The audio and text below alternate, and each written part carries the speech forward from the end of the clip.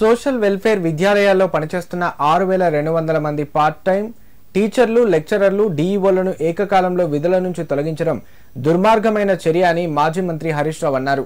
దీన్ని BRS party పక్షాన తీవ్రంగా ఖండిస్తున్నామని అన్నారు.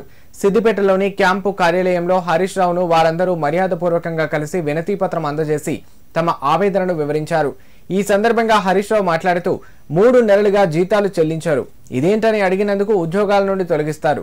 ఇదేనా మీ ప్రజాపాలన అని సీఎం రేవంత్ రెడ్డిని ప్రశ్నించారు. ఇదేనా మీరు చెప్పిన ఇందిరమ్మ రాజ్యం అని నిలదీశారు. విద్యా సంవత్సరం మధ్యలో టీచర్లను తొలగించి వారి కుటుంబాల్లో తీరని శోకాన్ని మిగిల్చారని ఆవేదన వ్యక్తం చేశారు. విద్యార్థుల భవిష్యత్తును తీర్చిదిద్దే ఉపాధ్యాయుల బతుకులను ఆగం చేశారని మండిపడ్డారు. తక్షణమే తొలగించిన పార్ట్ టైం లెక్చరర్లు టీచర్లు డీఈఓలను వెంటనే తిరిగి విధుల్లోకి తీసుకొని మూడు నెలల పెండింగ్ వేతనాలు చెల్లించాలని బీఆర్ఎస్ పార్టీ పక్షాన ప్రభుత్వాన్ని డిమాండ్ చేస్తున్నామన్నారు.